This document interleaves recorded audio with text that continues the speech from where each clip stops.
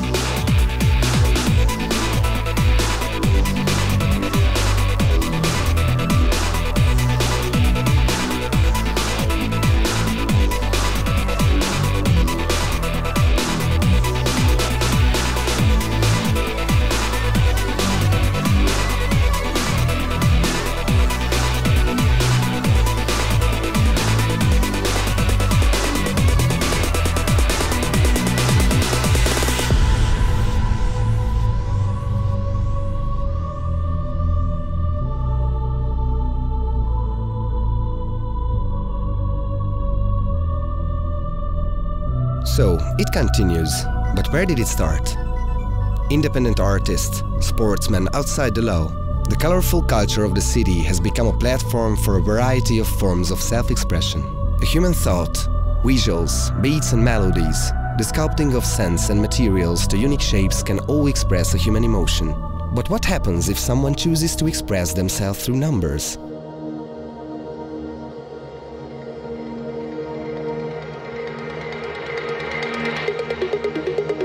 In the 1980s, something changed the world forever. Computer technology, mostly due to the appearance of affordable Commodore 64s, entered households worldwide providing the opportunity for everyone to create digital art. But existing art forms weren't the only ones to be re-implemented on these computers. Brand new forms of art also appeared, once thought to be impossible up to that point. Computers provided an opportunity for the creator to produce visuals and sound effects and combine them to create the ultimate audiovisual experience by using only the language of mathematics and writing program code without physical interaction. As a result of such techniques, demos were born, and with them, the demos in subculture.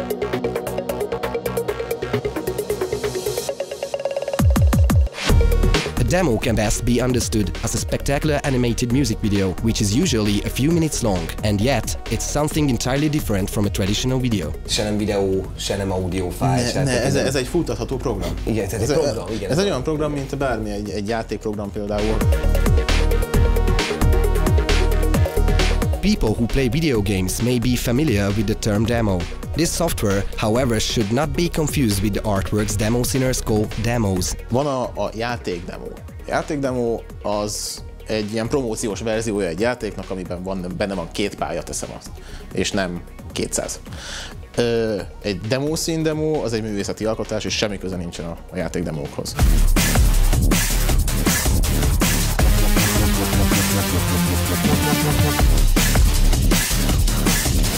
They do have one thing in common though. Demos are made using the same techniques as video games, the same skills are needed to create them, and they both end up as executable programs. Of course, there are many differences along the way. If you're making a game professionally, or if you're making a game even for um, even for you and your friends, there's a set thing uh, that you have to follow. With the demo scene, you can pretty much break all that. Sir Garbage Truck, American coder organizer who has moved to Europe, has a self-admitted problem with finishing demos.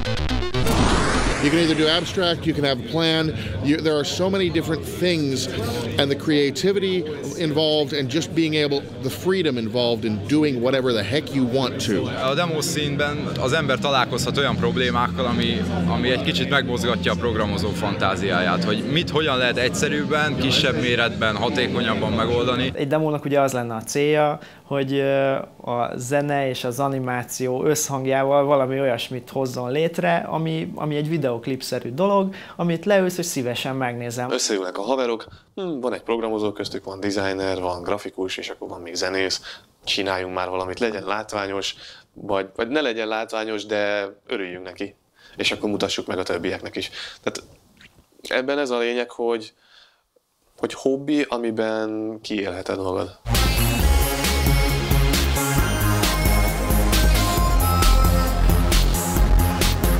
A legtöbb ember ezt nem tanulta sehol, sőt szerintem nem hiszem, hogy valaki is tanulta volna ezt, tehát itt mindenki autodidakta módon tanult meg programozni, rajzolni, zenélni.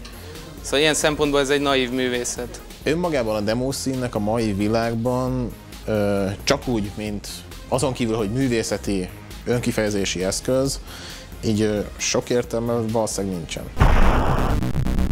Boise, coder, member of Conspiracy and Digital Dynamite. His demo Chaos Theory, created in his demo tool Addict, has been shown in the United States at SIGGRAPH, the world's most renowned computer graphics conference. A demókat mindig is szórakozásból csinálták az emberek. Régen, régen meg ugye azért, hogy megmutassák, hogy ide néz, mit csináltam én ebből a számítógépből. Akkoriban a 90-es években, amikor elkezdtünk ezzel komolyabban foglalkozni, akkor egymás után lepődtünk meg, és ennek főleg a demók az okai, mert olyanokat láttunk a képernyőn, amit, amit azt mondtuk, hogy ezt nem lehet megcsinálni. Megláttuk és így eldobtuk az agyunkat, hogy úristen, ezt meg lehetett ebben a programban csinálni. This is what really uh, moves us, motivates us to find to find new and impressive way of rendering graphics. The similarities don't end there. The birth and eventual popularity of the demo scene can be largely attributed to the appearance of computer games, the removal of their copy protection, and their subsequent distribution.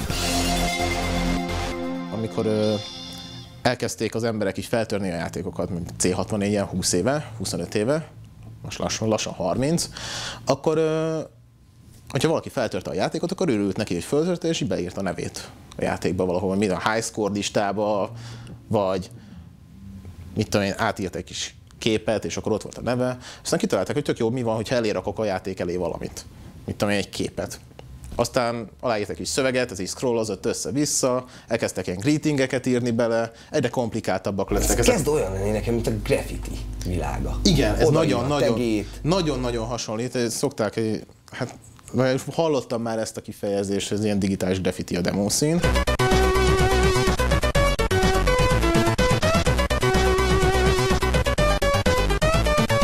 Gyakorlatilag a feltört játékok elé, aki feltörte, az szeretett odarakni egy ilyen kis, akkor már intro, crack throw-nak hívták.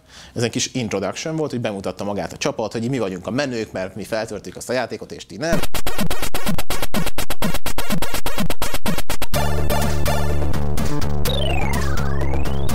És akkor persze kialakultak ezek a csapatok, és nem csak a, a játékok feltörésében indult el a versengés, hanem abban is, hogy, hogy ki tud jobb és szebb ilyen intrókat rakni a, a játékok elé, és el, eljutott egy idő után arra a pontra, hogy voltak emberek, akik csak azért játszottak a játékkal, hogy előtte megnézik az intrót. Én is többek között ebbe a kategóriába tartoztam, mert tök jó volt a zenéje, szerettem a zenét, tök jó betűkkel írták ki a cuccokat, meg így, így tényleg így elképesztő dolgokat műveltek, és sokszor technológiailag jobb dolgokat műveltek, mint a játék, amit feltörtek.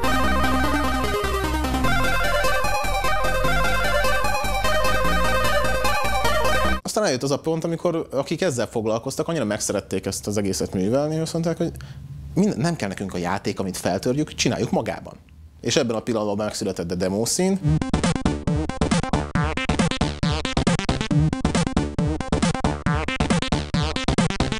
Valakinek számítógépe volt, akkor, akkor az már önmagában egy ilyen elit dolog volt, és akkor kellett azok az emberekkel találkozni, akiknek szintén számítógépe volt, és akkor az volt az élmény, hogy valamit azzal a számítógépet csinálni, nem csak játszani. És akkor emiatt tudott ez az egész demo szín alakulni. Slice Pie, musician, graphics artist, member of United Force, has quite possibly written more music than any other Hungarian singer and has recently gained popularity outside Hungary after he started making his own demos and animations. Mi a Csokiban ismerkedtünk össze, a Csokoni Művelődési Ház. Ugye az volt a nagy ilyen, ilyen, ilyen a hazai számítástechnikai élet középpontja, a hétvégi klub, klubok, csoki klubok. Ott láttam még C64-en először demókat, és akkor rögtön nagyon megtetszett ez az egész dolog, és akkor először, jó sok évig először csak érdekelt a téma, aztán ugye ott alakultak ki a csapatok, és akkor így szépen belefolytam, meg belefolyt mindenki, aki ezzel foglalkozik hasonló módon. In the last 30 years, the demo scene having evolved from crack throws, as well as computer science itself, has gone through radical changes. Over time, the tools, the limits and the purpose have all changed. Régen az volt a cél, hogy, hogy ugye a kódolásról szólt ez az egész, hogy minél jobban kihasználni az adott szűk, korlátos gépnek a lehetőségeit, tehát egy 8 bites C64-et vagy egy Amigát. Annó ilyen nagyon, nagyon az volt, hogy na megmutatjuk, hogy mi vagyunk olyanik, mikor ilyen, ilyen világrekord mérhető volt, Commodore 64, mindegyik gép ugyanolyan teljesítmény volt, és akkor olyan világrekordokra mentek, hogy igen, én tudom a legtöbb színuszosan mozgó pontot kirakni, vagy én tudom a legtöbb hullámzó, scrollozódó feliratot és valaki kirakott 250 pöttyöt, de a szomszéd Pisti kirakott 253-at, akkor onnantól kezdve megint ment egy ilyen 48 órás kaffein maraton, hogy na akkor hogy lehet 257-et kirakni.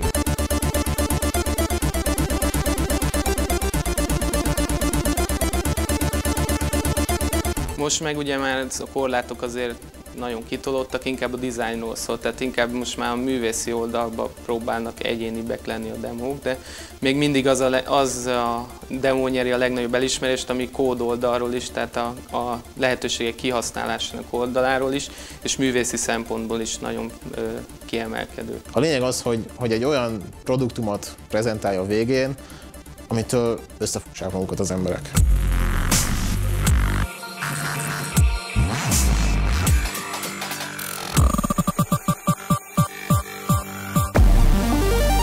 Of course, this is the easiest to achieve when the audience knows the limitations of that given computer and is aware of the technical possibilities. Naive observers may not be astonished by a rotating cube, even though perhaps even the engineers creating the computer wouldn't have thought that to be possible on the system in question. As limitations expanded, it has become possible to create spectacular demos that can be enjoyed without a particular technical knowledge. This can also be attributed to a change in artistic perspective. Mostanában ugye jobban szétoszlik az, hogy, hogy kialakul az, hogy egy demónak, intrónak van egy ilyen producere, vagy rendezője, aki, akinek az fejében így megvan, hogy minek, minek kell nagyjából a végső képnek lennie, és ő így próbálja lemenedzselni azt, hogy, hogy kinek mit kell csinálni. A rendező. A rendező, igen. Vannak olyan demók, amik tényleg csak arról szólnak, hogy a technológiát megmutassa, hogy csináltam egy új effektet, és fú, de jó. Vannak olyanok, amik ö, ö, annyira nem tartalmaznak új technikát, viszont baromi jól néznek ki, és ez csak arról szól, hogy most ez milyen jól néz ki, és vannak ilyen, ilyen hát különféle olyan demók, amik valamilyen, hát igen, valamilyen üzenetet próbálnak mondani. On Tuesday, I realized that I help people sell other people's stuff they don't really need. This happened during lunch. Most már nagyon-nagyon keves, kevés olyan demót tudunk értékelni, amiben csak egy, mit tudom én, forgókocka, jól kinéző 3D-s még akkor is, ha jól néz ki, ha nincs mögött egy ilyen gerinc, akkor most már így nehezebben értékeljük. Gargoy, coder, musician, member of Conspiracy and Umlaut Design, main organizer of the Function Demo Party, actively takes part in a variety of foreign events. A part of the thing that the United States doesn't often see about the demo scene is how social it is. It's a very social thing.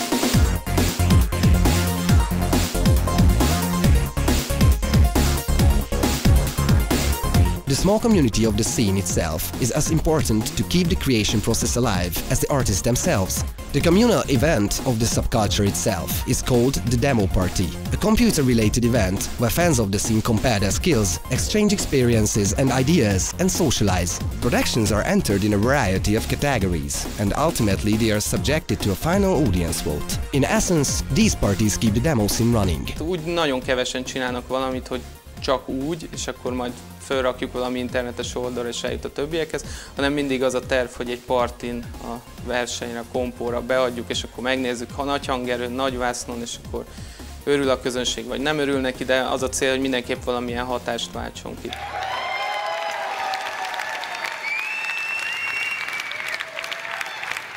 We are a bunch of opinionated people who like to see people make things.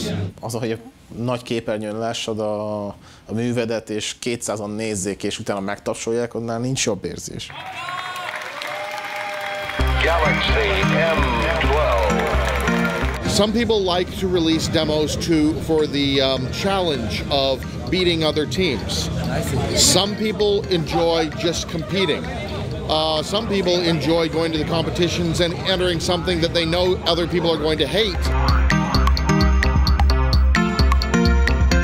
The roots of demo parties reach back to the 80s, and their existence can also be owed to illegally cracked and distributed games. Ezek a partik eredetileg copy partik voltak, tehát ott, ott másolni jöttek össze az emberek. A Nem lehetett legújabb... még lopni, meg minden. Lehetett, persze, csak ugye nem, még nem volt internet, hanem kénytelen. A leget, legegyszerűbb módszer a posta után az volt, hogy átmentél a szomszéd Józsikához, és átmásoltad a flopit. És ugye 40 darab szomszéd Józsika volt, akkor kibéreltetek egy műfázat. Bravo Zulu 88 requesting your position. Coordinate 521.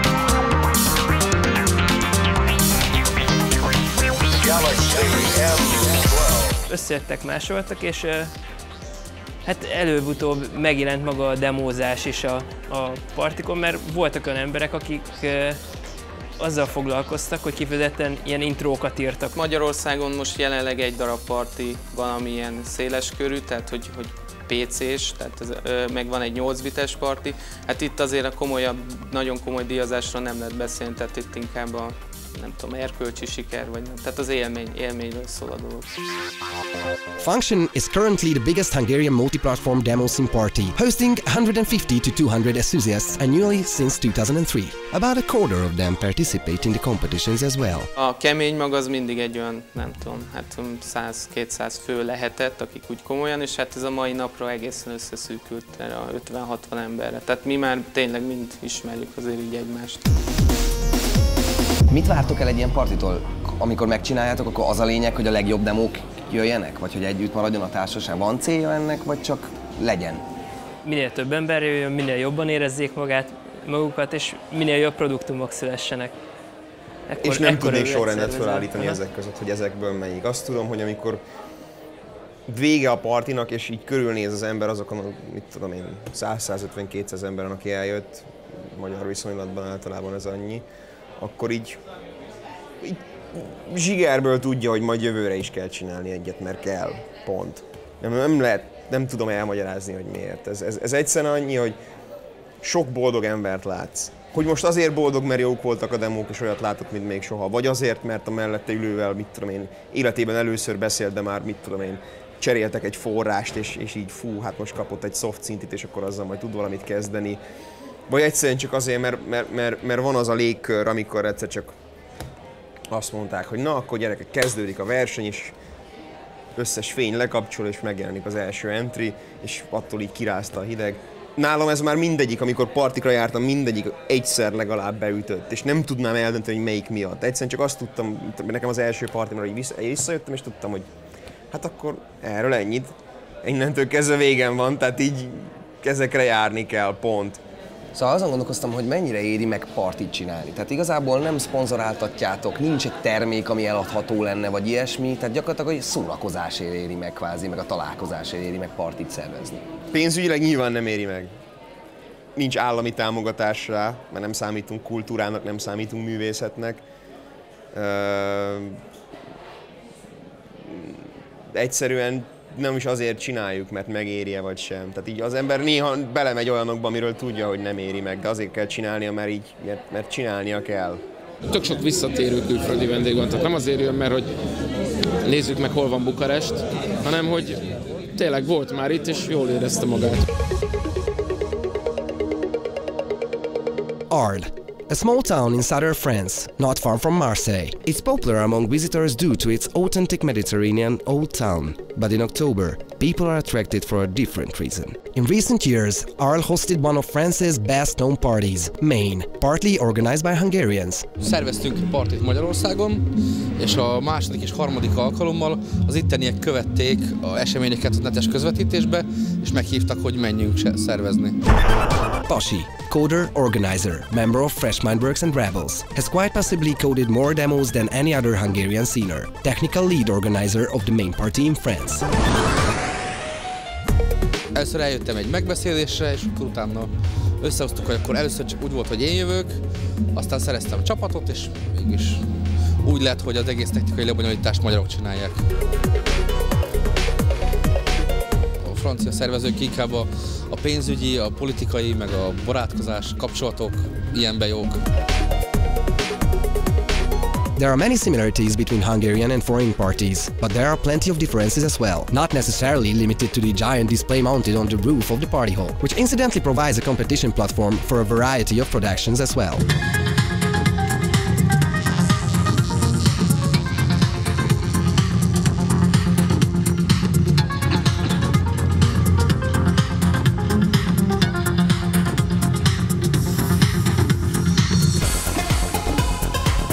Tulajdonképpen Magyarországon egy partinak az összköltségvetése az annyi, mint ami itt jut két-három emberre. Tehát sokkal-sokkal több. Egyrészt az Egyesület vezetői nagyon ügyesek szponzorvadászatban, van nagyon profik, meg itt Franciaországban művészetre többet adnak, legyen az bármilyen művészet, azt pártolják.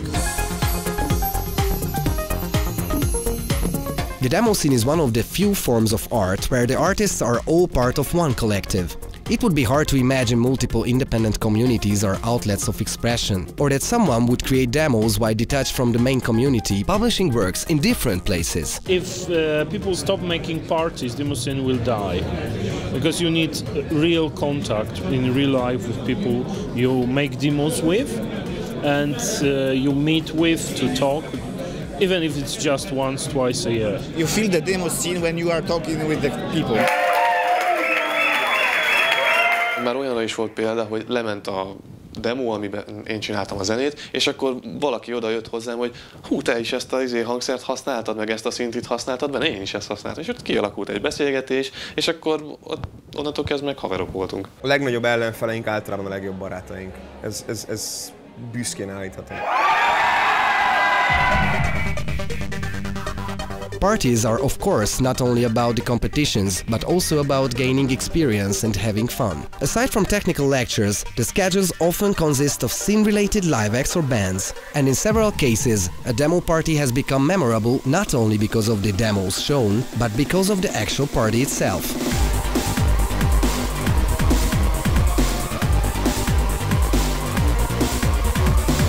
Lényel partiknál simán előfordul az, hogy már az első napon a komplet organizing team nap részeg.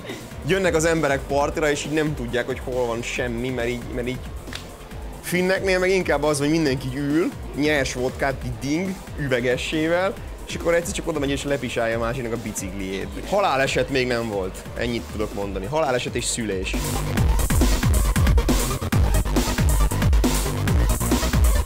Az mindenképpen érdekelne, hogy egy mennyi, én nekem egy kicsit fiúsan hangzik ez az egész sportág, hogy lányként, tehát mennyire találsz spanokat? Kvázi, hát fiúkat találsz elsősorban. Persze. Szerintem ez egyébként abszolút nem nehéz, de erre mindenkinek megvan a saját kis elmélete, meg meg is volt főleg annak idején. Amikor én érkeztem, akkor már volt egy pár csaj a demoszínen, Európa szerte is, meg Magyarországon is. Érdekes, hogy akkor már volt egy zenészlány is, volt grafikus csajszi is, volt kóder csaj is. Igazából nyilván nagyon sok a látogató is, vagy a barátnő, aki kíséri a párját, nem tudom, hogy aktivitásban mennyi. Én azért arra tippelnék, hogy aktivitásban még mindig egy ilyen 90-10-es arányt hozunk, nem? Tehát azért, vagy 80-20? Inkább 80-20. Demos aren't the only things to compete at parties. Other categories include pictures, music, standalone pieces of code, even photos and miscellaneous other productions. They do have one thing in common though. They are mostly finished just before the deadline.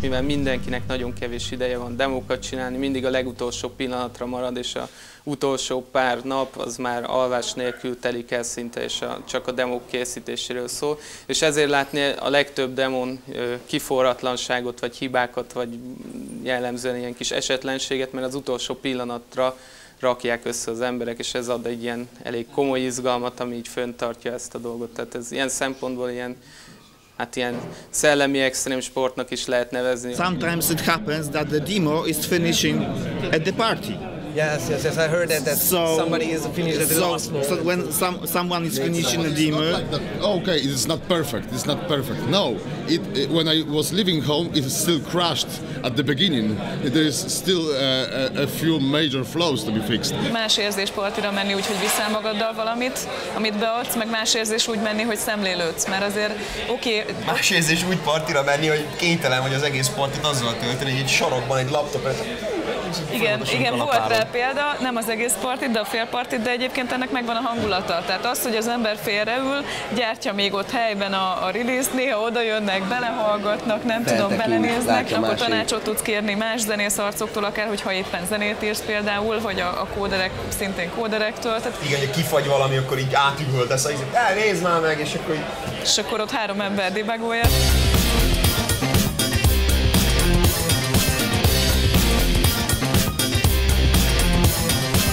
Mennyi minimum, amennyi idő kell hozzá, hogy úgy átlagban, hogy, hogy összeálljon egy ilyen Másfél óra. Tehát igen, tehát, egy, a, tehát a, a néhány órás minimum időtől kezdve tényleg ilyen emberévek.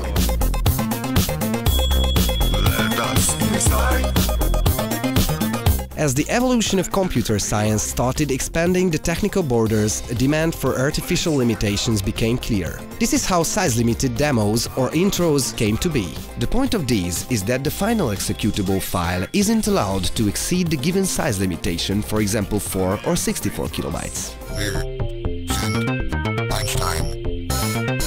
Egy osztálytársam ö, behozott néhány ilyen fájlt egy flopin, hogy, hogy ezt figyeld, nem fogod elhinni, 64 kilobájtban mi jön ki belőle. Ez a, ott egy exe file, elindítod és lemegy egy 4 perces videóklip, de így konkrétan olyan, hogy a hajadat lerakod tőle, és zseniális. Zúzós. Igen, igen, igen, igen. Látsz egy olyan ö, 4 kilobájtos, 4 kilobájtos intrót, amiben megdöbbentő méretű, mennyiségű és minőségű vizuális dolgot látsz, és nem tudod hova rakni, hogy 4 kilobájt az mennyi, elkezdesz írni, ezzel elkezdesz írni wordpad valami kis szöveget érted, és nem kell nagyon sok hozzá, hogy 4 kilobájthoz eljuss. Get your, let's say, CV in the Microsoft Word. Your CV is already three times bigger than this intro. To store one letter or one character, you need one byte of space. 4 kilobytes of space means 4096 characters. That's little more than a page of text. That's the maximum amount of data a 4 kilobyte intro can consist of. Running such a program, however, can allow the computer to generate 5 minutes of visuals and music in Full HD resolution in real time, like this one.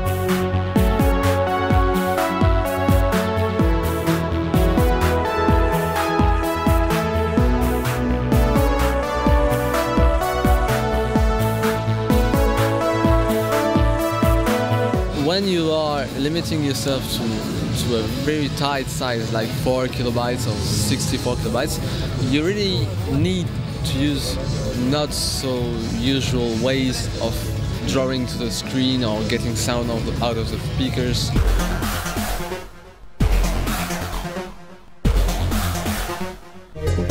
While 64 kilobyte intros can store 16 times the information of 4 kilobyte ones, they are still considerably smaller than content stored the traditional way. Normally, 64 kilobyte space allows one to store about 4 seconds of average quality MP3 or about half a second of video. Végignézel egy 5 perces videót, leesik az állat, hogy milyen jó volt, és a végén kiderült, hogy igazából ez így, mint én,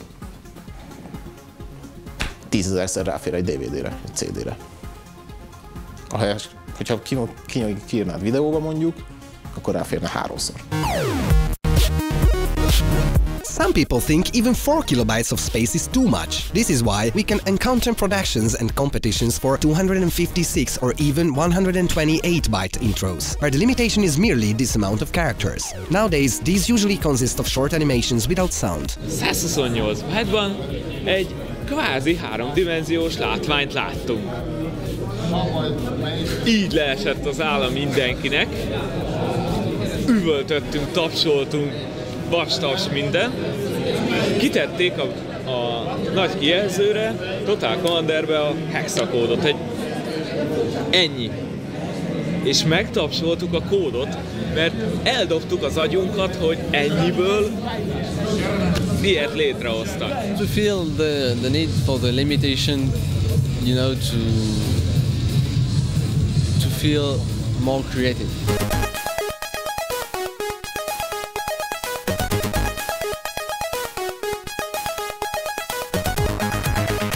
Just as artists strive to conquer artificial limitations on modern computers, people who write demos for retro computers are driven to explore technical limitations in the most profound ways possible. Commodore 64, Plus 4, ZX Spectrum, Amiga, computers long out of production, sometimes with technologies and barriers from 30 years ago, and yet they continue to be utilized to present more and more unbelievable things from time to time. Their popularity is best demonstrated by the fact that the C64 can still claim to have the most productions ever released, having over 18,000 compared to about 14,000 on the PC. Van az a kisebb számú ember, aki, aki nagy-nagy szerelmes ezen a gépeknek, és akár nem is foglalkozik más gépekkel, hanem ő neki ez a demószín felségterülete.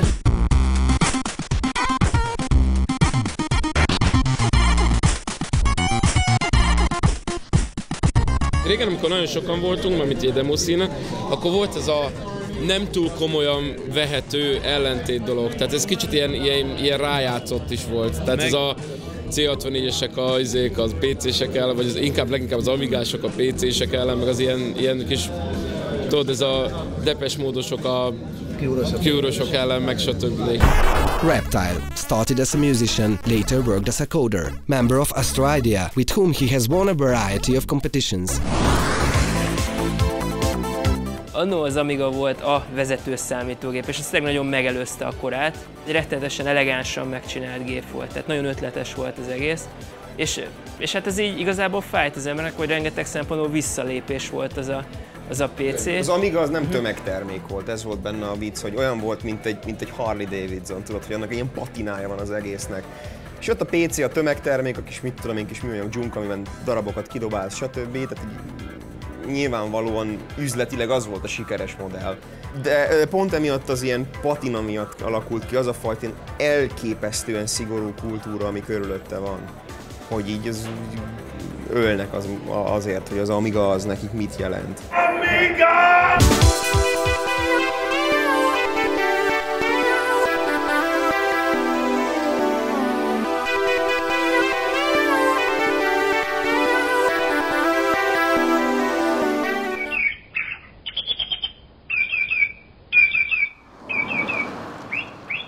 Ajkarendek, a small ordinary village in western Hungary.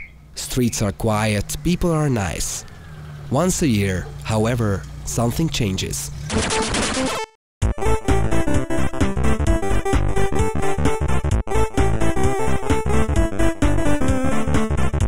Every summer, the town is flooded with fans of 8-bit computers for three days, who are there to take part in Arok Party, an event that's been running for almost 15 years now. Az Arok Party a C64-es és minden 8 bites gépnek a, az igazi partia Magyarországon. A leges legelején mi kifejezetten demószín találkozót hoztunk össze, azt is akartuk, aztán rájöttünk, hogy van egy csomó ember, akit még érdekel, tehát így megjelentek olyanok, akik hardvert fejlesztenek, vagy akiket tényleg csak játékok érdekelnek, és akkor ők is jöttek.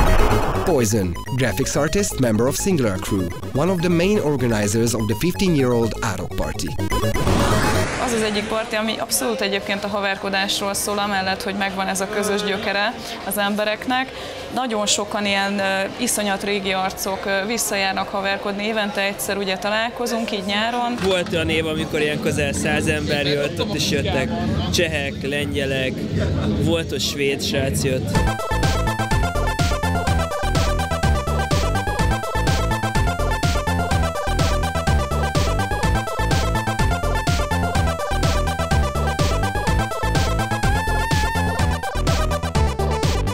Volt olyan szabály, hogy nem lehet bevinni olyan gépet, ami nem 8 bites. Ezt így nagyon szigorúan vették, és utána később már a szervezők is hozták a saját gépüket, ahol a emulátor... telefont se vitték. Igen, már egy telefont gond, gondva lenni, a, be kéne vinni, mivel a, mondjuk az én telefonom az papíron ezerszer gyorsabb, mint a C64-es volt. Kitaláltuk azt, hogy nem csak ezek a szokásos grafika, zene, demo versenyek vannak, hanem van játékverseny is, sőt minden évben próbálunk kitalálni valami olyan programot, amivel újítunk, tehát ami, amit egy másik találkozón nem kapsz meg. Tehát az idén például volt egy kalandjáték, amit a faluban kellett játszani, tehát számítógéphez így igazániból közösen volt. Kaptál egy térképet, menj ki a faluba, és akkor oldjál meg különböző feladatokat. Úgy van, várjátok azt. Ez plazma effekt.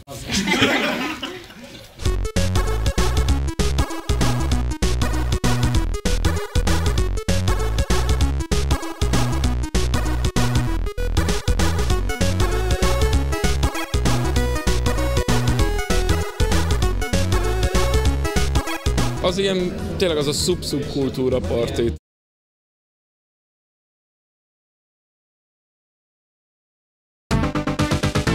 The hype around the Commodore 64 continues to live on in a variety of ways. The popularity of music made with the C64 is undiminished. Today there are a lot of people experimenting with performing C64 music live, whether with an orchestra or even a cappella.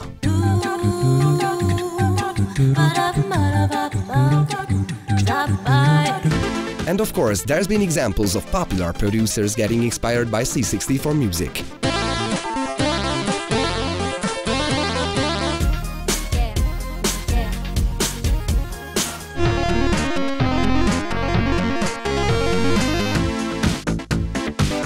Sidrip Alliance is a band who adapts C64 music to the arsenal of a rock band.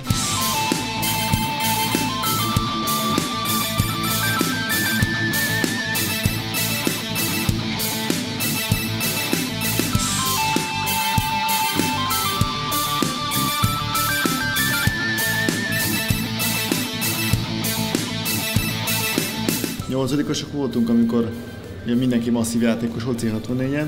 Neked volt magnód, amivel fel lehetett venni a levegőből az És tévéből a fölvettük a zenéket. tévéből a zenéket, és Azt akkor azt hallgattuk. hallgattuk ő mögé kazettán. Gyakorlatilag C64-es a játékok Persze, hallgattuk, igen. a játékok demó zenét. Ha.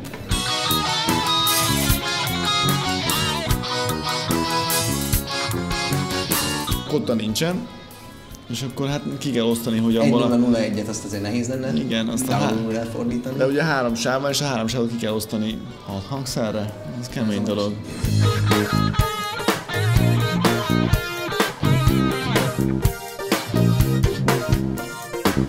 Legnehezebb talán az volt, hogy van egy csomó olyan nóta, amit egyáltalán nem élő zenére találtak ki. Nincs, ezért nincs egy adott hang, nem össze-vissza dobálóznak a hangokat, de végül is rendszer jár össze, csak lehetetlen így végig gondolni, hogy ez egy durskála, nem.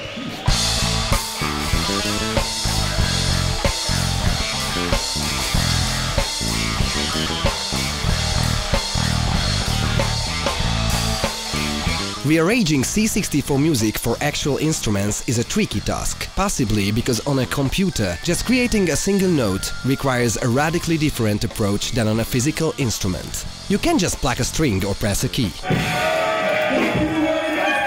Van némi hasonlóság az ilyen mostani szintik és a régi hangszintézis között, tehát mindegyik mondjuk egy színuszjelből vagy egy háromszögjelből, akármikből állítja elő a hangot, nem pedig mintákból. Tehát, hogy fogsz egy trombitát, elé teszel egy mikrofont, és akkor már is bent van a gépbe. Tehát nem, hanem megvannak az alap hullámformáid, és azokat modulálgatod meg, változtatod.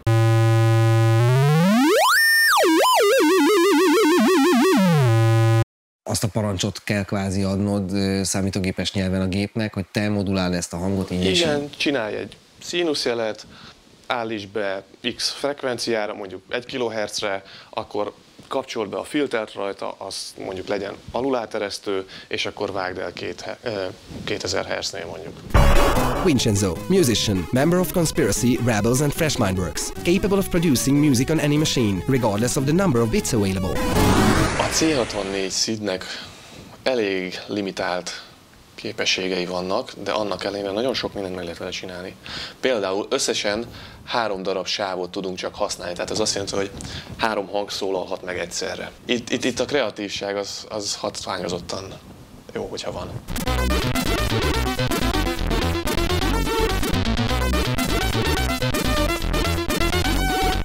Ez tulajdonképp maga a kottakép. Hármas sebességgel az egyes hangot használva, teljes hangerővel, az F1-es hangmagasságban lejátszik, tovább megy, majd gate az azt jelenti, hogy elvágja a hangot, vagy hát kikapcsolja. Majd hangot váltunk, a 0 0 hang, G1-es hangmagasságban, majd pedig elhallgattatok. Maga a hanggenerálás, vagy pedig a hangparaméterek beállítása az egy másik screenen működik. Most a 0 0 sorszámnál kezdődik, és a 41-es szám ez azt jelenti, hogy ez nekünk egy négyszögjel. Majd pedig megint négyszögjel egy C modulációval, ami azt jelenti, hogy az alaphanghoz képest egy oktávval följebb kezdi, majd pedig a 4100 az még egy négyszögjel, és nincsen hangmagasságváltoztatás. És ezt például honnan tudod? Ezt Tapasztalat. honnan? Akkoriban ezt igazából így egy könyvből nem Kísérletezés. Kísérletezés volt az egész. Van az a néhány alaphang, amivel tényleg így el lehet játszadozni, össze lehet őket kombinálni. Nem, nem annyira ö, bonyolult, hogyha az alapokat tényleg tudja az ember, akkor tud zenét csinálni. C64-en. Még a csávó egyébként végig a mozik egy egyétek el. Én láttam, hogy hallottam olyan demóját, ahol egy lónyerítés van beprogramozva. Ahhoz hogyan csináltad például? Igen, az, de és tényleg hallgatod és lónyerítés. Figyelj, 02 06 41 Jó, oké, menjél. Hat- 68 7B.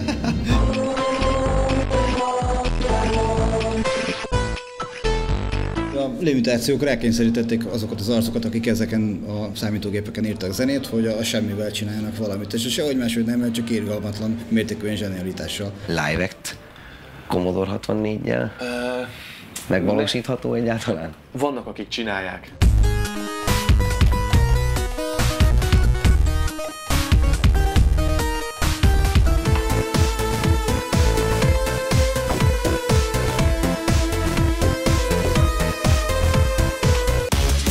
With the appearance of the Amiga and the PC, music tools evolved further. First, trackers appeared, bearing a slight resemblance to C64 software, but with the ability to play back digitized samples, eventually allowing people to write complex pieces of music. Today, demo music is written with the newest generation of music software, the same tools used for songs you hear on the radio. 4 or 64 kilobyte intro, however, due to the restrictions in size, can rarely allow digitized sound, so one must revert to the original approach seen on the C64 and create sounds using basic waveforms. A demo mennyire követi a demószín a zenei trendeket? Számít az, hogy éppen most mi a divat? Én mondtam, hogy dubstep El- mérgezése Na, van. Tehát De, tehát akkor dubstepet nyomnak most a demósok is? orvérzésig. Big beat orvérzésig, drum and bass orvérzésig, dubstep orvérzésig. Néha becsúszik egy-egy jó metal demo, általában finn. Tehát akkor nincsen. Nerdcore. Nincsen ami- zenei behatárol. Nincs, behatárol. abszolút semmi. Ambient. Még elektronikus sem, mert Még ugye- izé, drone ambient is van, rengeteg. Ami tényleg így 10 percen keresztül ez a folyam. Ugrik be olyan demo, aminek szamba zenéje volt, de nem jellemző azért.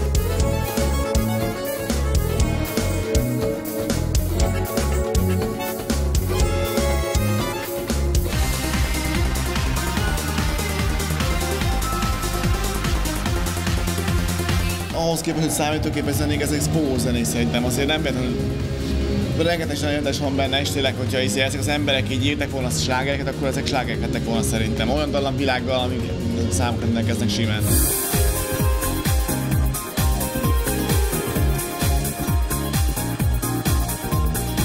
mostly demo scene musicians are just demos and musicians. I see. So uh, they are uh, separated from from the musical scene. N- not exact, not, not completely separated, but yeah, you'll find demos and musicians doing cool drum and bass uh, uh, tracks that will only release them in the demo scene and nowhere else.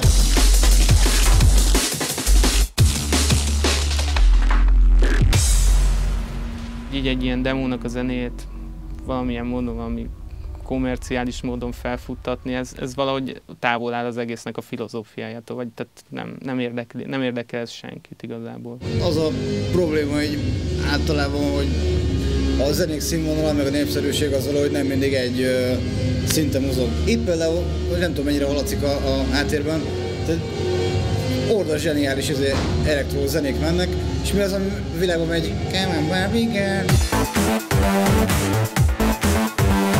Computers' graphical capabilities have evolved considerably over the past 30 years, simultaneously with their musical ones. Today, artists use tools to create a 3D model that makes the workflow similar to sculpting an actual statue. 20-25 years ago, in the age of C64, graphics artists found themselves facing limitations that made drawing pictures pixel by pixel the fastest way. Egy billentyűzetről vezérelhető program.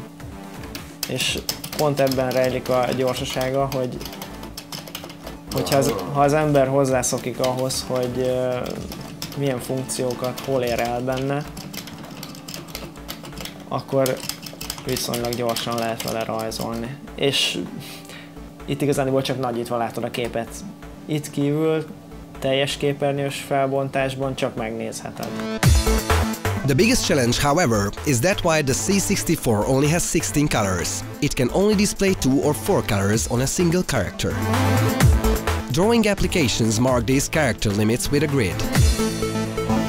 Itt már látszik is, hogy nem férek el, tehát ezt, ezt a narancssárga szint itt nem bírom áthozni, mert ebben a, ezen a karakterhelyen már használok ugye a fekete háttér mellett három szint. És ilyenkor jönnek ugye a trükközések, amikor azt mondom, hogy cserélgetek le különböző színeket, amiket még talán nem veszel észre. Tehát most, hogyha egy-egy, egy-egy pixel torzul színében, az még a szemed nem biztos, hogy fel fogja fogni.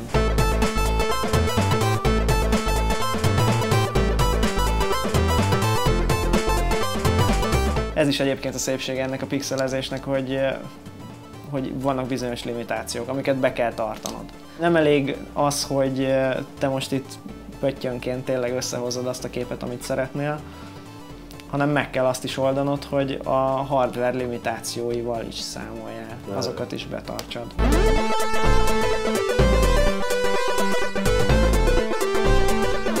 Hogyha utána nézel a mai C64-es grafikusoknak, tehát akik a mai nap kifejezetten alkotnak, a legtöbben már nem C64-en dolgoznak. Rengeteg olyan eszköz van, úgynevezett cross-platform tool, ami azt jelenti, hogy másik platformon fut, ahol több a lehetőséged, de kifejezetten arra készült, hogy utána majd C64-en tud azt megjeleníteni.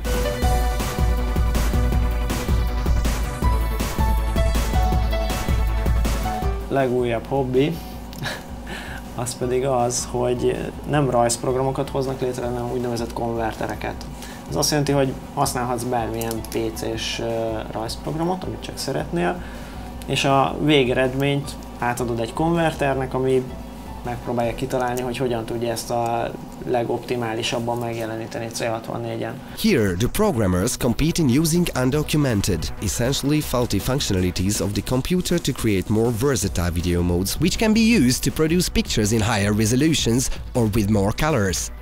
The rules of these modes are so complex that keeping them all in mind while drawing is practically impossible, which is why tools are written to convert finished pictures to such formats. Olyanok a limitációk, hogy azt így emberi aggyal nem nagyon lehet felfogni. Tehát azt, hogy hogy használhatok három karakterenként hátulról egy színt, ami, ami nyújtott pixel, de fölötte használhatok karakterenként, rastersoronként, három másik szint, és akkor még afölé nem tudom én milyen, tehát ezeket nem fogod tudni agyilag feldolgozni.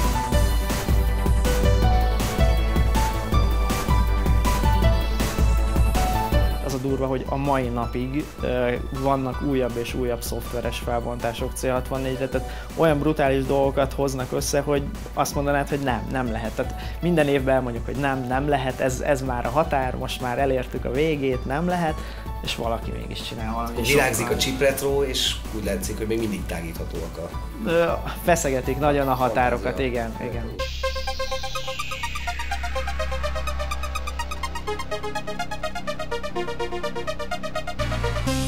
The progress in computer science has obviously upgraded the visuals as well. Nowadays, the tools used for making pictures shown at demo parties are the same tools used for creating popular animated films or computer games. It's possible, however, to find subgenres unique to the demo scene, such as logos which are meant to display text in a spectacular manner, similar to graffiti. These logos sometimes appear next to the demo in the informational text files as well, in which case they are recreated by only using the ASCII character set of the computer. In the 80s and 90s, it wasn't just the production process of such artworks that was more difficult than today. Without the internet, general communication and the distribution of such works was performed the analog way, through ordinary mail. Swappers who eventually created their own networks across the globe put demos, games and copies of other software onto floppies and exchanged them via postal mail. We, mail traders, have uh, 100 contacts with other people and we just, you know, we were some, some kind of a peer-to-peer networks. I have stuff from the, these guys, I write a letter, pack all the stuff and send it to the other guys. It was important if you had something new, you had to get it out to these other people. Magyarországon is volt olyan srác, akinek ilyen 500 fölötti kontaktja volt, így, akivel Akihez külön papírlevéllel kü- küldözgette a, a dolgokat. We have a full uh, uh, envelopes of floppies, four floppies, eight floppies, all around Europe. So I had a, like let's say 20 huge envelopes in my post box every day. Swappers were important people at that time in the groups because they would they would distribute your stuff. After every party, uh, I uh, uh, released a pack, which uh, was uh, all the intros from that party was included in the pack. Demos and applications weren't the only things to be distributed via mail. Teams of self-appointed editors started so-called disk magazines. These weren't just text files, but executable programs displaying their content. Volt egy lemez, egy PRG fájl, az volt egy lemezújság, betöltődött, kiválasztottad, hogy milyen kategória, hírek, stb. rovatok voltak benne ugyanúgy, és akkor azt tovább a másiknak, a barátodnak, vagy ismerősödnek, vagy szomszéd, szomszédnak és akkor így terjedtek ezek a dolgok. If you go back through these early disc mags, you'd see terms like stamps back. And, um, you know, guys were trying to, uh, you know, they didn't have that much money. But you had, you know, you had to keep up all your all these contacts that you had. If you had hundred contacts, you'd say stamps back, meaning send my stamps back to me so I can use them or try to use them again. In these days, even downloading wasn't the same. To be exact, the correct term would be downwhistling. 80-as évek közepén lehetett, amikor eh, a magyar televízió foglalkozott ilyen kísérleti adásokkal, illetve a rádió is foglalkozott ilyen kísérleti adásokkal, hogy egyszerűen lefütyülték a programokat. Magyarul azt, amit a C61 amúgy egy rendes programnál, hogyha lementettél audio kazettára, ugye, Úgyha ezt, ezt a kazettát berakod a magnóba és meghallgatod, az egy sípolás. Na ezt a, ezt a kódolt hangot, ezt lesugározták, és ezt te fölvehetted. Tehát, hogyha volt egy kazettás magnód, akkor mondták, hogy na most a komodorosok figyeljenek, vagy a spektrumosok, és akkor indítsák a felvételt, fölvették, és utána ezt a kazettát fogtad, be tudtad tölteni a C64-en vagy a spektrumon.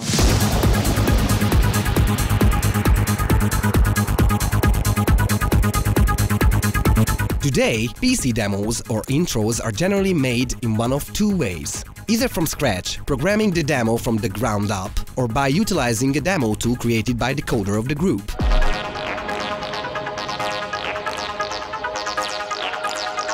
A demo készítés legalábbis ahogy én csinálom, az úgy nézett ki régen, hogy például akartam egy 3D objektumot csinálni. mit tudom én, akkor még a Digital Dynamite nevű csapatba toltuk, és fogtam egy D betűt, így lerajzoltam négyzethálós papírra, szépen, 3D, a 3D sémáját így lerajzoltam, és négyzethálókból kiszámoltam, hogy ez a pont lesz a bal felső pont, ez a 0-0 koordináta. Akkor egy négyzetrács az egy egység, akkor a következő pont az a kettő nulla koordinátok. Aztán szépen egy körbe írogattam, leírtam papírra a számokat, begépeltem a izébe, rendesen egy programba, és akkor nagy nehezen meg tudtam jeleníteni valahogy, mert benne volt a memóriában. És rengeteg ilyet csináltam, és nagyon meguntam a végén, és azt mondtam, hogy oké, okay, írok egy programot, ami legenerálja nekem ehelyett a program kódot. Tehát, hogy én összekattingatom valahogy a D betűt, teszem azt, és a végén kiesik belőle az a forráskód.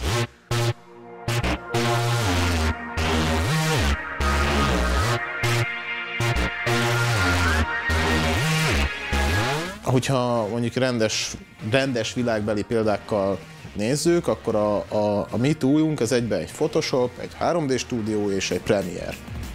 Ez a három, ez így egybe van, ha megcsinálod a textúrákat procedurálisan, akkor utána összerakod a 3D modellt, azt leanimálod, és a leanimált modelleket utána egy ilyen videóvágó részben összerakod, és aztán nyomsz egy space és lejátszódik a videó. És azért nem használjuk ezeket a, a kommerciális dolgokat, mert ö, mi 64K intrókkal dolgozunk. Mi, mi nagyon pici dolgokat szeretnénk csinálni, és ez egy spéci eszközök kellenek, és mi ezeket fejlesztettük le.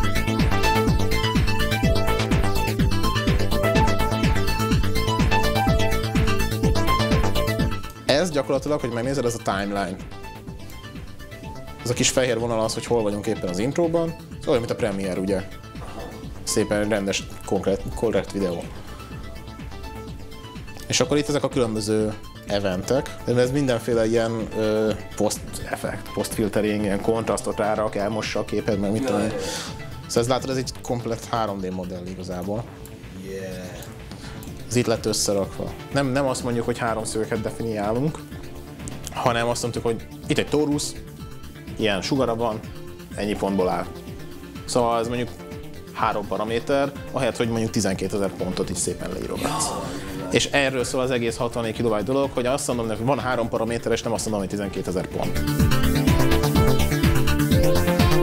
These incredibly small sizes are achieved by creating intros with binary program code and its parameters, instead of using large pre-generated 3D models, pictures, videos or music files. The computer then uses these parameters and algorithms to produce the visuals and sound. Ilyen képekből áll össze az egész. Szóval semmi komoly nincsen benne, de a végeredményben a vizuál az mégis, mégis úgy össze van rakva.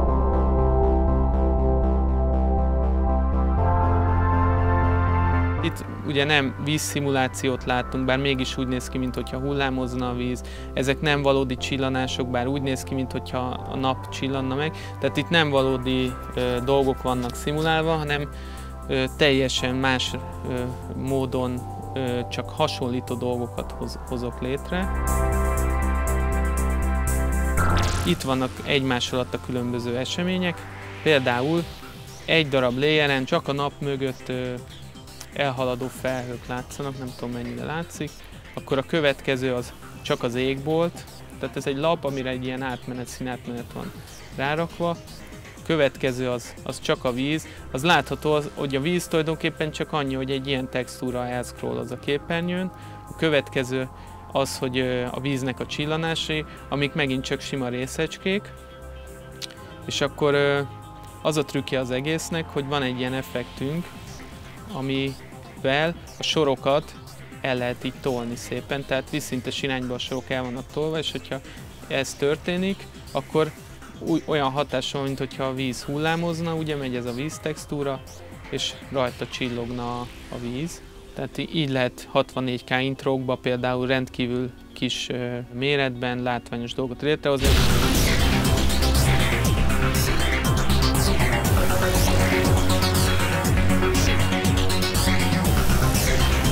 Of course, not everyone wants to make a demo too. Some people have more fun starting from scratch every time they make a demo.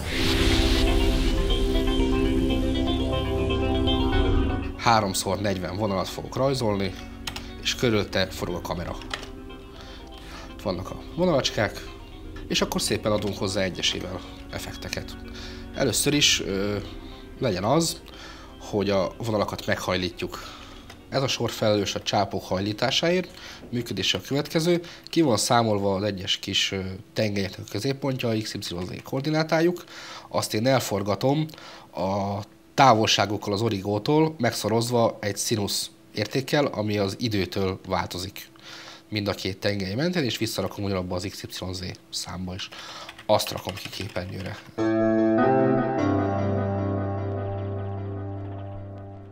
Hogy akár azt mondom, hogy minél távolabb van a középponttól, annál hosszabb legyen a vonal.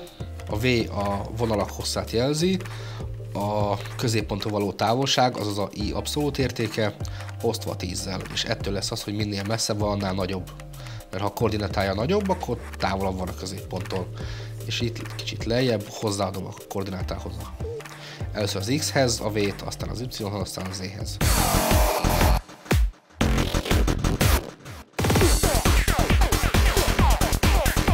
The complexity of program code can grow infinitely.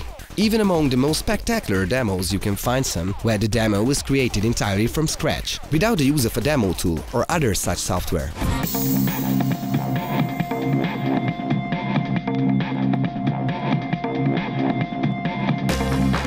With time, works that cannot be classified as music, graphics or demos have appeared. This gave birth to the white category, lehet egy, egy tök igényes renderelt animáció, lehet egy ö, valami rövid film, de lehet bármilyen borzalom. Murphy, coder, graphics artist, member of Exceed, the editor of Scene.hu and the genuine demo scene encyclopedia.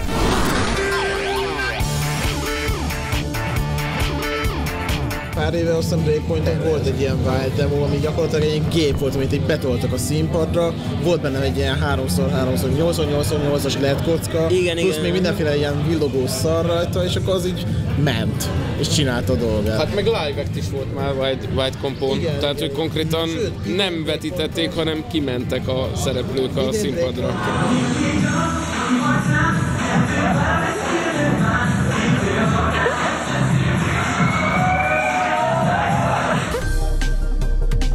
fogja, és csinál egy, egy hűtőszekrény mikrokontrollerből demót, mint ahogy a, De azért erre szerintem nem mondhatjuk, hogy poén. Tehát nem. Jó, hát ő Nem, halál nem. amikor ő megcsinálja, ő ezt halál komolyan csinálja. Igen, és amikor végignézed a demót, az is halál komoly, mert három percig megy folyamatosan jól kinéző effektek, meg jó zene. Csak amikor az elején közli, hogy igen, ez a kontroller egyébként ugyanaz, amit a, mit tudom én, milyen hűtőszek, Zanussi Gorenje hűtőszekrényekben használnak, akkor úgy, akkor úgy mondod, na akkor lássuk.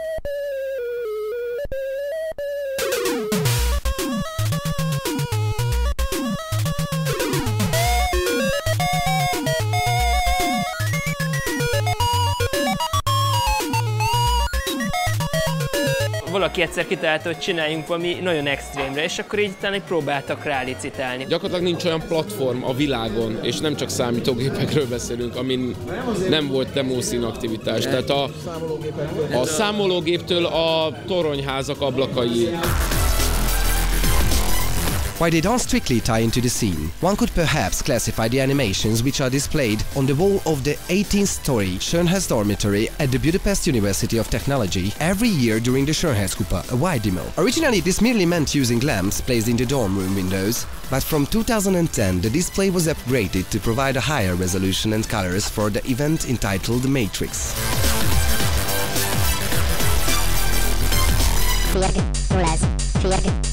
Magyarországon született meg a Lémer Demo, mint kategória. Igazából máshol nem is honosodott meg. Nem tehetünk róla. De az a on- onnan alakult ki nagyjából, hogy a Vágy demók egy jelentős része az ilyen viccesnek szánt produkció volt, és hogyha ennyi ilyen van, akkor csináljunk neki külön kategóriát. Neked van a legszebb hajad a világon. Megfoghatom? Jaj, nem, nem úgy gondoltam, jaj, meg! Ez volt kb. a legnépszerűbb kategória néhány éven keresztül. Igen, mert egy minimális tudásra nem kellett túl nagy technikai tudás, és akkor összeraktak valami ilyen minimál animációt, aláraktak valami nagyon vicces zenét vagy szöveget, és akkor volt egy-kettő egyébként, ami tényleg vicces volt. Tehát, hogy tudtak jó poénokat csinálni, de a legtöbb az annyira fárasztó volt. Ez a gyermek 38 évesen előr a Windows elé, 40 évesen szívrohamot kap, 41 évesen pedig meghal.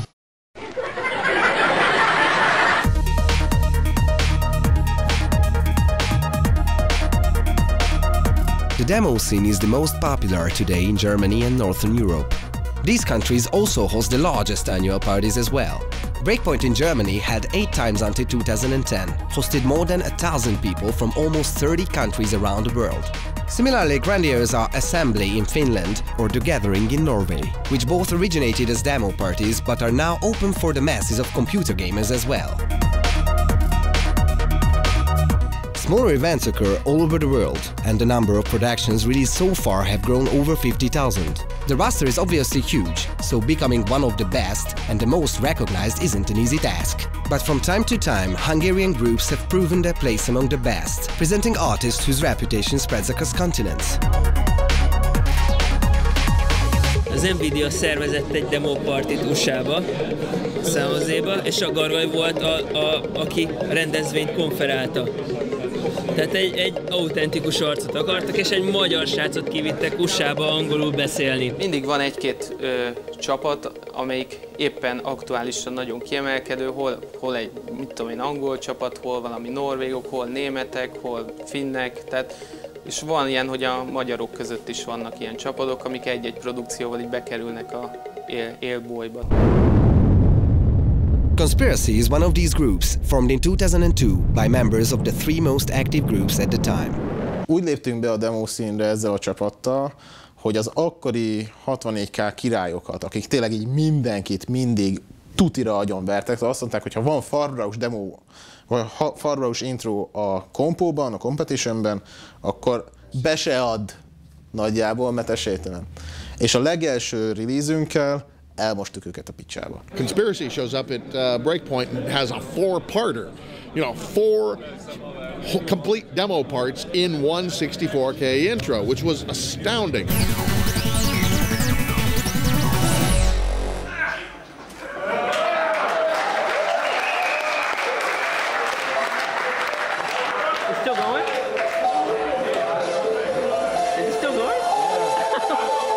Direkt úgy csináltuk, az egészet teljes titokba csináltuk, nem tudta senki, hogy viszünk release a partira, azt se tudták, hogy létezünk.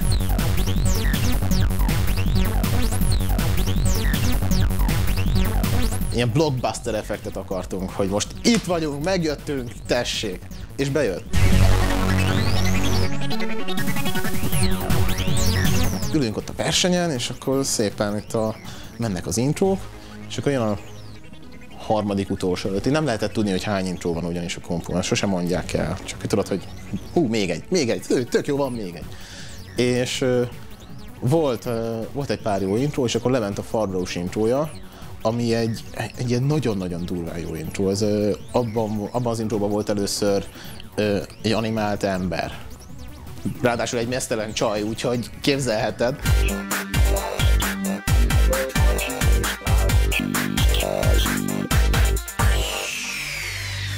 Vége lett az intrójuknak, mindenki azt hitte, hogy vége a versenynek, és akkor beadtak még egy entrit.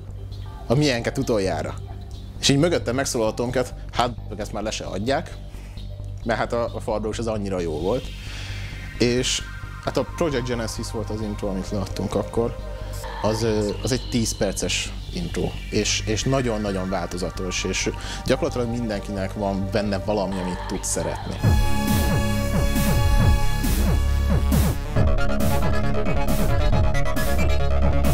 A legelejére raktunk egy logót, hogy Conspiracy, senki nem tudta, hogy ki a franc, ez mit akarnak.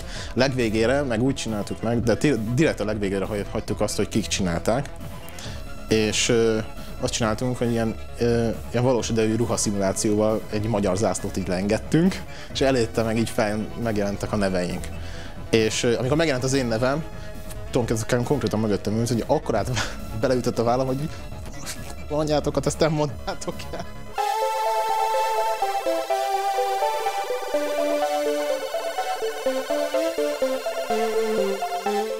Abban a pillanatban magyar zászlót az első sorban elkezdte rengetni, ez nagyon jó volt.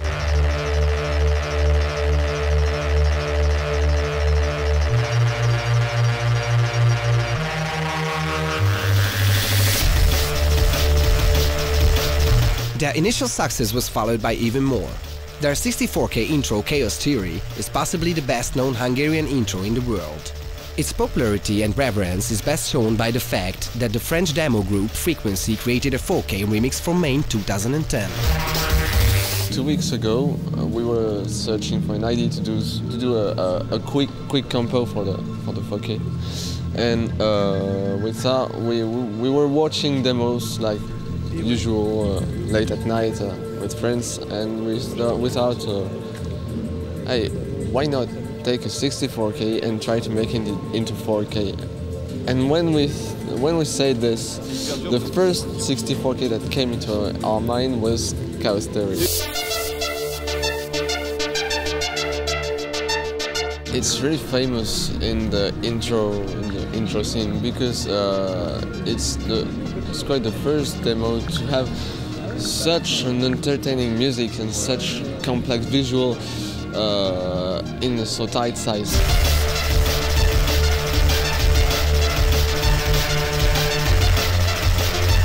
Of course, Conspiracy isn't the only Hungarian group we can be proud of. Exceed in 2000 made demo history when they won both of the biggest demo parties in one year.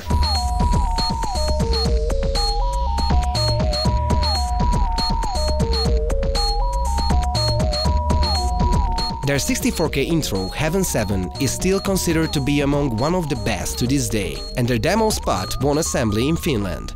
The list of Hungarian group successes could go on. On the C64, the demo Soy Legacy by Resource used to be considered as one of the 10 best demos on the platform for years.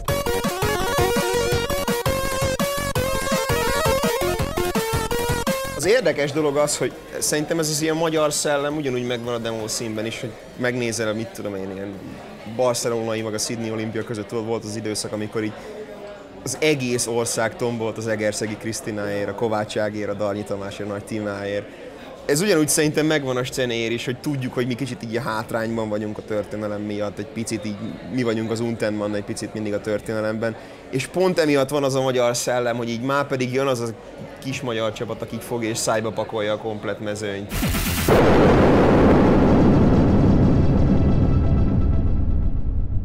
És mi volt a 91-92-es periódusban?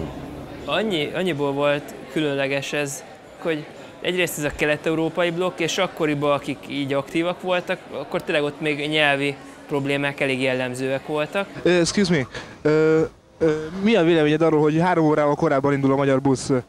Az? Viszont baromi sokan voltak, tehát volt Magyarországon több ezer fő fölötti parti, demo parti. Tehát, hogy akkoriban maga a magyar szín, az, az, az baromi nagy volt, és uh, igazából tökül el volt a magyar szín így magába is.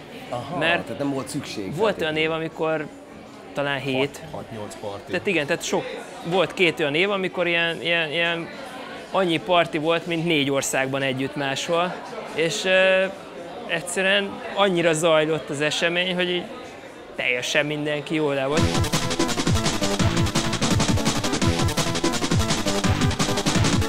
Így a magyarok mennyire sikeresek, van a Poet, az a legnagyobb ilyen demószín oldal, ahol szinte minden produkció fönt van, ami, ami, ami így elérhető, és uh, ott van egy ilyen toplista a legnépszerűbb demok. Most nem tudom, hogy hány magyar van, de volt olyan, amikor a top 10-ből három magyar volt. És mi az igazi elismerés? Megnyersz egy partit, főleg, hogyha olyanok előtt nyered meg, hogy, hogy ők is ügyeletet Szerintem ezt embere válogatja. Nekem nagyon-nagyon kedves elismerésem az, amikor partin oda jön valaki, hogy jaj, te csináltad a... Fú!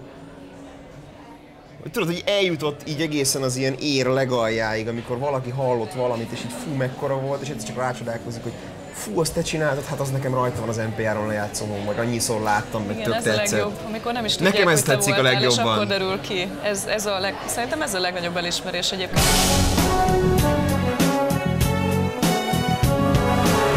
One of the idiosyncratic motives of mutual reverence in demos are the greetings, where the creators of the demo pay respect to the groups they greatly admire. Being greeted in a demo made by one of the popular groups is considered a badge of honor, as it expresses that they consider your work to be one of the best. És vannak ilyenek, hogy ö, kvázi celebek, legendák ebben a körben Magyarországon? azok szemébe legenda mindig valaki, aki még fiatal. Tehát mit tudom én, a Gargaiék most a, a, a legmenőbb magyar csapat, ők, ők most legendák biztos azoknak a szemébe, akik így most ismerkednek az egésszel. Voltatok ti is legendák. Igen, tehát én, én a Murphyről olvastam cikkeket, meg ilyenek. Mindig az előző generáció. Hihetetlen bizarr, amikor egyszer csak így találkozol valakivel, akiről annyit olvastál. Occasionally, a demo becomes popular outside the scene as well. Ott ülök segrészegen Szegeden, és fölöttem két ember arról beszél, hogy 60 ikánytól kizé, és tudod a conspiracy, és fölnézek. Miről beszéltek? Ismeritek a conspiracy Persze, persze, jó. Csá, Boysi vagyok is. Csávónak ekkora volt a szeme. Mi a f*** keresett itt? Mondom, jöttem koncertre.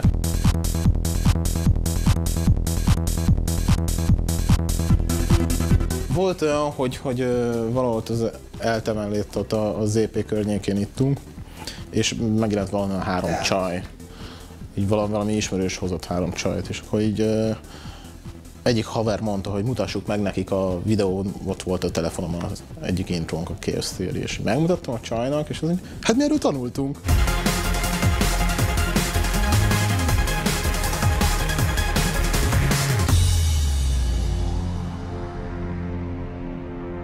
The demo scene is dead. Ez a kifejezés, vagy a demo szín halott, ez az utóbbi 30 évben mindig elhangzik. Én 98-ban kapcsoltam be az egészbe. 98-ban sokan már temetni akar, nem azt, hogy temetni akarták, de más volt az egész. 15 évvel ezelőtt még több fél tucat, volt olyan fél tucat part is, rendezvény is volt egy évben, és ez nagyon megcsappant. Amikor 96-ban csináltuk a színeztet, akkor azon 1200 fizető vendég volt. Tehát az úgy, az egy nagy buli volt.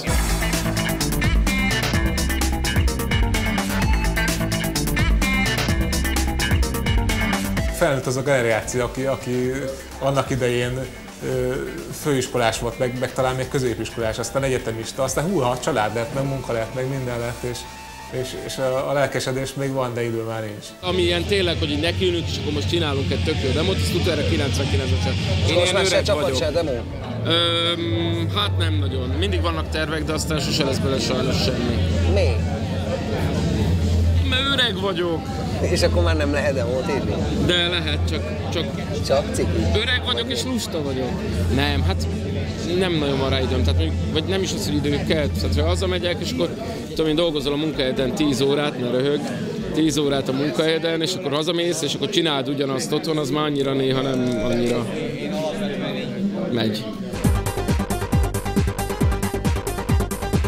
Az utánpótlás ugyan nyomokban utolérhető, de korán sem olyan, olyan számban és, és mértékben, mint ahogy ezt az aranyérában láttuk. To create a demo, there's a lot of work involved with it. And um, not necessarily the same instant feedback and gratification that you can get from, say, making a YouTube video in five minutes and then you get like 50,000 hits from people telling you that either it's brilliant or that you suck. You don't get that in the demo scene. You might get like 12 people saying how brilliant it is and 300 people telling you that it sucks.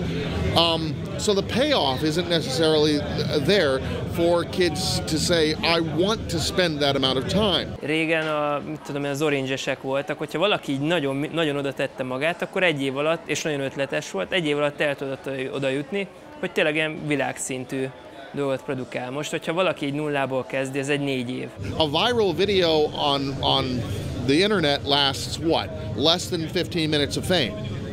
Um, but a you know a demo. We remember demos from last year, the year before, 10 years ago, 15 years ago. Régebben tényleg az volt, hogy ha valaki már ki tudott rakni egy forgó kockát a képernyőre, akkor ő volt a műmájer, de, de, de most már annyira más a standard, gondolj bele, megnézel egy avatart moziban, meg ilyenek, most már gyakorlatilag azt a fajta szintet kell hozni.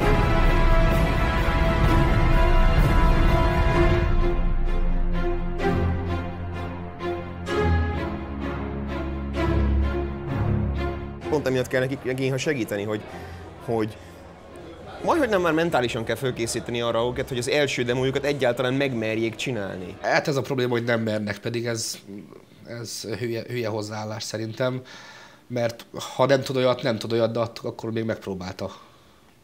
Hát ez, ez hozzáállás kérdése. A, az a lényeg, hogy, hogy sikeres akarsz lenni a demo színen, vagy jelen akarsz lenni.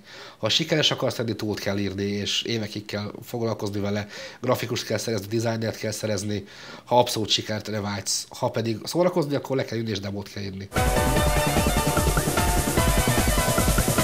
Gondolj bele, a az egy ilyen viszonylag komoly technikai, technikai alapokon nyugvó, művészeti, számítógépes, underground, ingyenes valami. Csodálkozol, hogy nem népszerű? Szerintem ez tök természetes, tehát manapság van internet, van ilyen konzol, olyan konzol, más foglalja le a fiatalokat. Tehát egy mi annak idején tudod, nem volt net, és akkor elhekkelgettünk a saját kis gépünkön, amit megvettünk, és megvettünk, amit a szüleink megvettek.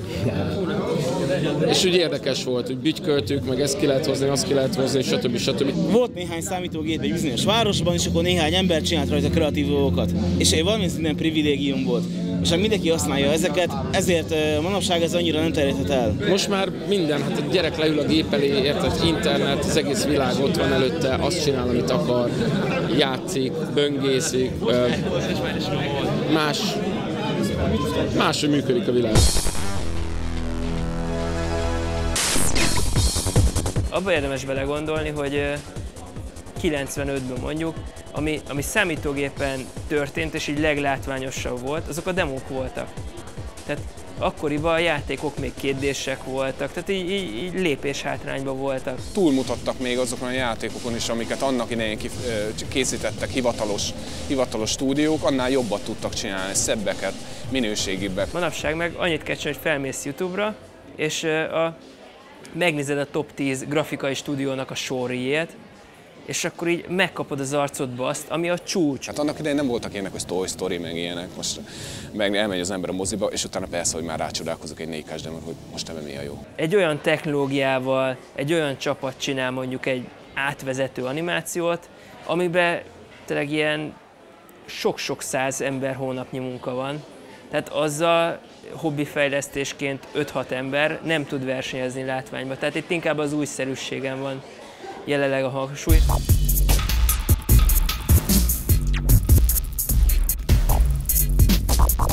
Az öregek mindig erre panaszkodnak, hogy jaj, már nincsenek fiatalok, de azért csak jön egy-egy új csapat, csak, jön, csak jönnek új emberek, bele rázódnak ebbe az egészbe, aztán fejlődnek ők is. Én azt mondom, hogy nagyon nagy szerencse van, hogy egy, egyáltalán így megkaptam, megkaptam ugye a demoszit, tehát Szerintem az nekem egy nagy szerencsé, és valahogy nagyon jól összejött. És hogy találtál rá? Vagy hogy? Hát, kerestem a programozási anyag után, és akaratlanul akarva belé, belé találtam ebbe a demoszínbe, és megláttam mi az, és hű, ez nagyon klassz. Max User 6000 traveled all the way from Transylvania to Budapest to present his first demo ever at Function 2010. Akkor ment a demo, a szívem valahogy nagyon felgyorsult. Olyan, mint hogyha egy zenekar kiáll, vagy egy Olyan, mint filmet hogyha a zenekar kiáll, pontosan.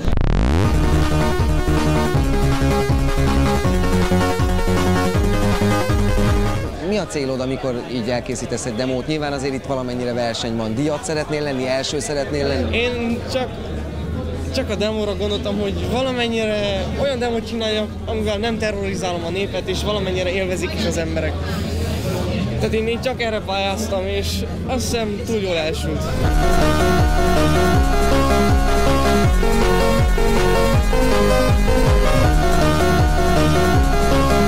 Better than intended in this case means the demo finished first in the demo competition after the audience vote. And while there isn't much to be gained apart from recognition and some modest prizes from the sponsors, there's a chance that experience gained in the scene will provide him with a good job offer. A demo színnek a legnagyobb felvevő piaca az a játékipar, meg a különböző ilyen animációgyártó cégekhez keverednek el emberek. Én konkrétan úgy kerültem például a játékfejlesztésbe, hogy annó a egyik régebbi magyar játékfejlesztőszének a- az ügyvezetője, tulajdonosa, ő időnként lejött partikra, pont így toborozni. Számomra ez nem akarok hazudni, egy ilyen 7-8 éven keresztül egy hobbi volt. 7-8 éven keresztül én zenéltem, és ontottam ki a zenéket.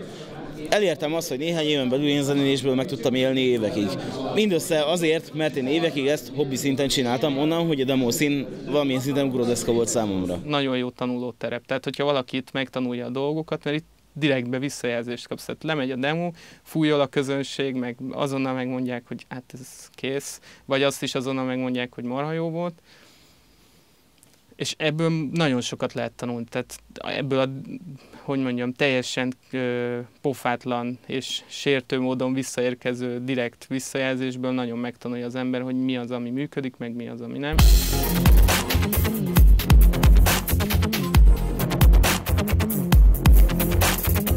Azok az emberek, akik mondjuk így a 90-es évek elején, közepén ezzel elkezdtek foglalkozni, azok mára már szerintem mindegyik valamilyen szoftver fejlesztő cégnél, tehát játékprogram fejlesztő cégnél, vagy valamilyen vizuális utómunkával, vagy effekt gyártással foglalkozó cégnél dolgozik. These people uh, really know their stuff, you know, and they work like on um, in a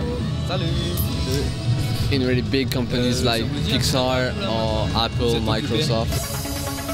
These people not only work for some of the biggest companies, many European game development studios were founded by demo sceners. Demo groups were responsible for the birth of DICE, creator of the Battlefield series, or Remedy, authors of games like Max Payne and Alan Wake.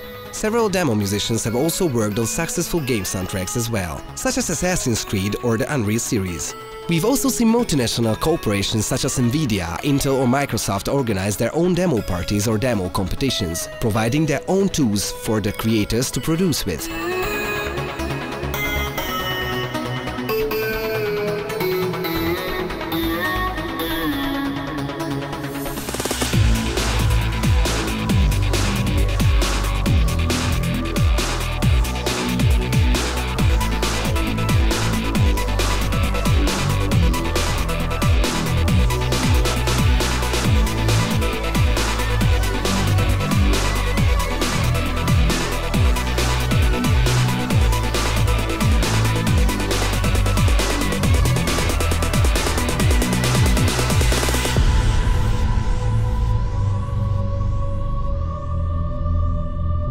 Artists in the scene are motivated by publicity or word by success. As professional they are, their works are only intended for those few hundred people who understand and appreciate them. Their works may be world class, yet they don't seem to mind that the world itself has probably never heard of them. A demószín az amatőr liga. Tehát, hogy, hogy itt az emberek a, ö, ezt nem veszik olyannyira véresen komolyan. Tehát lehet, hogy a kóder meg a grafikus világszínvonalú dolgot rak bele abba a demóba, de ez mégiscsak egy hobbi meg akár a zenész is ír egy baromi jó zenét, ami sláger lenne, de ez akkor is egy hobbi, ez arról szól, hogy, hogy az a produkciót menjen, és ez egy nagyon szűk körnek készül. Én nem is olyan dologgal akarok foglalkozni, ami mindenkit érdekel, hanem pont ez benne a jó, hogy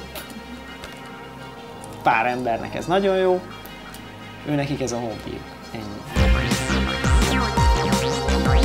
Whether we recognize the values of our era and our past depends on us. What we learn from our cultural environment also depends on us. There's always a new and exciting scene to discover. Whether we color the future or let it fade to grey, ultimately depends on us.